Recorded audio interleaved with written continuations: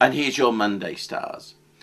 The shadow of the full moon opposes both Mercury and Saturn and trines Venus. What does this all mean? It means that you've got an easy passage into making changes.